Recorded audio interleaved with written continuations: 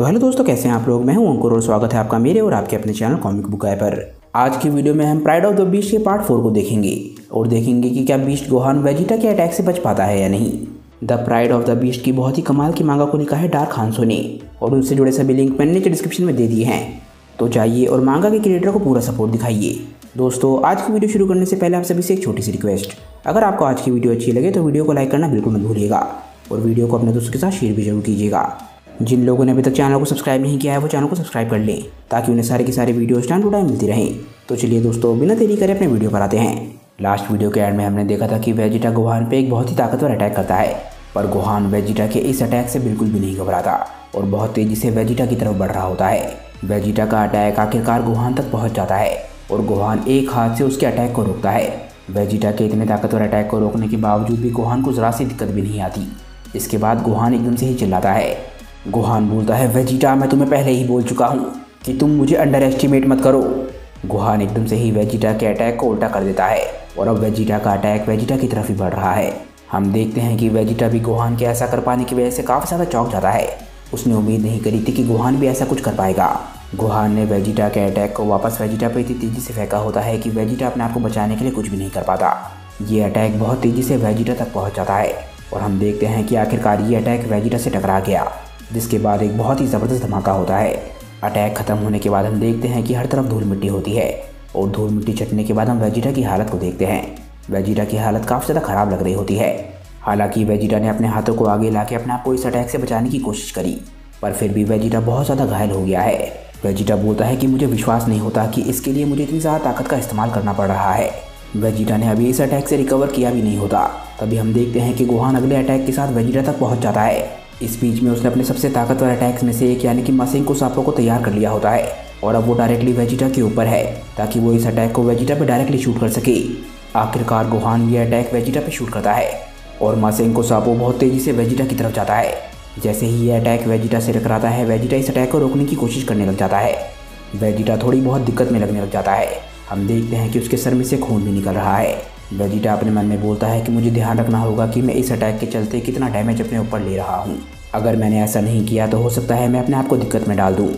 Vegeta एकदम से ही अपने हाथों से कुछ करता है। ऐसा लगता है कि वेजिटा इस अटैक के साथ कुछ करने वाला है। एकदम से ही गोहान का अटैक वेजिटा को पीछे पुश करने लग जाता है। ऐसा लगता है कि यह अटैक आखिरकार वेजिटा से टकरा गया। वेजिटा काफ़ी ज़्यादा घायल लगने लग जाता है और एकदम से ही वो चिल्लाता है। तभी हम देखते हैं कि आखिरकार वेजिटा इस अटैक को डिफ्लेक्ट करने में कामयाब हो गया है। तभी हम वेजिटा को एक बार फिर से देखते हैं। वेजिटा पहले के मुकाबले काफ़ी ज़्यादा घायल हो गया होता है, पर फिर भी उसके चेहरे पर स्माइल होती है। वेजिटा ने जानबूझ के गोहान के अटैक को खुद से टकराने दिया। वो चाहता तो इस अटैक को कभी भी डिफ्लेक्ट कर सकता था। गोहान वेजिटा को देखता है और गोहान के चेहरे पर लड़ने की एक्साइटमेंट साफ़ दिख रही होती है। गोहान अपने मन में बोलता है, क्या वेजिटा की ताकत पहले के मुकाबले ज़्यादा हो गई है? क्या ऐसा पॉसिबल है कि वो लड़ते लड़ते और ज़्यादा ताकतवर होता जाता हो? नहीं, वो मेरे अटैक के बाद ज़्यादा ताकतवर हो गया है। उसने वो अटैक डायरेक्टली झेला था। गोहान आखिरकार समझ पा रहा है कि अल्ट्रा ईगो किस तरीके से काम करता है। अल्ट्रा ईगो की फॉर्म में वेजिटा जितना ज़्यादा डैमेज लेता है, वो उतना ही ज़्यादा ताकतवर होता जाता है। पर वेजिटा को इस बात का भी ध्यान रखना होता है कि वो ज़रूरत से ज़्यादा डैमेज ना ले, क्योंकि अगर वो ऐसा करता है तो हो सकता है कि वो फाइट को हार भी जाए। हम देखते हैं कि वेजिटा के चेहरे पर भी फाइट की एक्साइटमेंट साफ़ दिख रही होती है। इसके बाद हम फिर से गोहान को देखते हैं। गोहान को थोड़ा बहुत समझ आ गया है कि वेजिटा ने अभी अभी क्या किया। गोहान ने अनजाने में ही अपने अपोनेंट यानी कि वेजिटा को थोड़ा बहुत और ताकतवर बना दिया है। गुहान अपने मन में बोलता है कि मुझे इस फाइट को जल्द से जल्द ख़त्म करना होगा।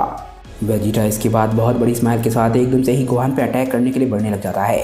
वेजिटा के और को देख के ये बात क्लियर है कि उसकी स्पीड और ताकत पहले के मुकाबले काफ़ी ज़्यादा बढ़ गई है। वेजिटा गुहान तक पहुँच के एकदम से उसे एक पंच मारता है, पर गुहान इस अटैक से खुद को बहुत ही आराम से डिफेंड कर लेता है। पर वेजिटा का ये पहला अटैक सिर्फ़ एक डिस्ट्रैक्शन था। हम इसके बाद वेजिटा के दूसरे हाथ को देखते हैं। हम देखते हैं कि उसके हाथ में एक हकाई का अटैक है। एक पावरफुल बॉल प्योर डिस्ट्रक्शन की। वेजिटा आखिरकार बोलता है, हकाई! वेजिटा के इस अटैक को शूट करते ही हम देखते हैं कि गोहान इस अटैक से नहीं बच पाता। आखिरकार गोहान हकाई के इस बहुत ही पावरफुल अटैक की चपेटे में आ गया है। हम देखते हैं कि गोहान दर्द से चिल्ला रहा होता है। वेजिटा ने यह अटैक गोहान को मारने के लिए शूट नहीं किया था, वरना डिस्ट्रक्शन की एनर्जी कुछ ही पलों में किसी को भी तबाह कर सकती है। पर गोहान अभी भी ज़िंदा है पर वो दर्द से कर रहा है। गोकू इस फाइट के बीच में इंटरफेयर नहीं कर सकता। वो बस अपने बेटे को नीचे से देख रहा होता है और बोलता है, गुहान गुहान इस बहुत ही पावरफुल अटैक से बाहर आने के लिए कुछ भी नहीं कर पा रहा होता। तभी गुहान एकदम से बोलता है, डैड, आपने ना जाने मुझे कितनी बारी बचाया है। गुहान एक बारी फिर से अपनी मेमोरीज में जाने लग जाता है और याद करता है कि उसके फादर ने उसकी कितनी बारी रक्षा करी है। गुहान उस समय भले ही एक बच्चा था, पर गुहान की गलतियों को सुधारने के लिए गोकू हमेशा उसके पीछे खड़ा था। गोहान अपने मन में बोलता है कि ना जाने और कितनी बारी आपको मुझे आके बचाना पड़ेगा। गोहान अपनी उन गलतियों को भी याद करता है जब वो ऑलमोस्ट बड़ा हो चुका था। इसके बावजूद भी उसने कई बारी धरती को निराश किया है।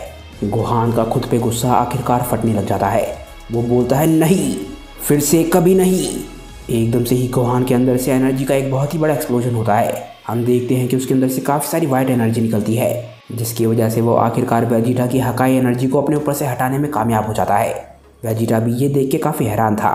भले ही गोहान वेजिटा के अटैक से बाहर आ गया हो, पर उसकी हालत काफ़ी ज़्यादा ख़राब हो चुकी है। हम देख सकते हैं कि उसके पूरे शरीर पे चोटें हैं। गोहान को देख के ऐसा लगता है कि अब उसके अंदर लड़ने की बिल्कुल भी एनर्जी नहीं बची है। पर यह बात गोहान भी बहुत अच्छे तरीके से जानता है कि ये लड़ाई अभी ख़त्म नहीं हुई है। एकदम से ही गोहान अपनी आँखें खोलता है। वेजिटा इसके बाद गोहान की तरफ़ देखता है और शांति से बोलता है, क्या तुम यहीं पर रुकना चाहते हो? मुझे उम्मीद है कि तुम अभी भी आगे जा पाओगी। ना ही तुम और ना ही मैं अभी तक अपनी पूरी ताकत का इस्तेमाल करके लड़े हैं। पर शायद तुम्हारे लिए तुम्हारी ताकत इतनी ज़्यादा बढ़ाना यही काफ़ी हो गया है। वेजिटा इसके बाद एकदम से अपने हाथ की तरफ़ देखता है और एक मुट्ठी बनाता है। वेजिटा बोलता है, क्या तुम्हें पता है कि इस वक्त तुम क्या महसूस कर रहे हो? तुम्हें तुम्हारे अंदर से इस वक्त बहुत ज़्यादा एक्साइटमेंट की फीलिंग आ रही होगी और तुम्हें लग रहा होगा कि इस वक्त डर की बिल्कुल भी ज़रूरत नहीं है। ये तुम्हारा संयम खून है, जो कि लड़ने के लिए खोल रहा है। तभी हम फिर से गुहान को देखते हैं। गोहान काफ़ी ज़्यादा एक्साइटेड और काफ़ी ज़्यादा निराश भी लग रहा होता है। वेजिटा समझ जाता है कि गोहान इस वक्त क्या महसूस कर रहा है। वो बोलता है कि भले ही तुम एक सैयन हो, पर इसका मतलब ये नहीं है कि तुम किसी भी तरीके से कम धरतीवासी हो। गोहान एकदम से ही वेजिटा की तरफ़ देखता है और उसकी बातें समझने की कोशिश करता है। वेजिटा गोहान से बोलता है कि पर अब समय आ गया है कि तुम अपनी दोनों धरोहर यानी कि सैयन और धरतीवासी, इन दोनों को लेकर आगे बढ़ो और दोनों को आखिरकार पूरी तरीके से अपना लो। तभी हम गोहान को देखते हैं। गोहान के चेहरे पे एकदम से स्माइल आ जाती है और एकदम से ही लड़ने के लिए वो बहुत ज़्यादा एक्साइटेड लगने लग जाता है। तभी गोहान एकदम से ही पावर अप करता है। हम देखते हैं कि पहले के मुकाबले उसकी ताकत बहुत ज़्यादा बढ़ जाती है। तभी हम वेजिटा को देखते हैं। वेजिटा भी अपनी अल्ट्रा ईगो की असली ताकत को बाहर निकालता है। आखिरकार गोहान वर्सेस वेजिटा की फाइट अपनी फाइनल स्टेजेस में पहुँचने वाली है। और इसके आगे क्या हुआ ये हम जानेंगे नेक्स्ट वीडियो में। क्योंकि दोस्तों, आज की हमारी ये वीडियो यहीं पे ख़त्म हो जाती है। मुझे नीचे कमेंट करके बताइए कि आज की ये वीडियो आप लोगों को कैसी लगी। अगर आपको आज की ये वीडियो अच्छी लगी हो तो वीडियो को लाइक करना बिल्कुल मत भूलिएगा। और वीडियो को अपने दोस्तों के साथ शेयर भी ज़रूर कीजिएगा। जिन लोगों ने अभी तक चैनल को सब्सक्राइब नहीं किया है, वो चैनल को सब्सक्राइब कर ले, ताकि उन्हें सारी की सारी वीडियोज़ टाइम टू टाइम मिलती रहें। तो चलिए दोस्तों, आज की वीडियो के लिए बस इतना ही। मैं मिलता हूँ आप लोगों को अपनी नेक्स्ट वीडियो के साथ। तब तक के लिए बाय दोस्तों, और थैंक्स फॉर वॉचिंग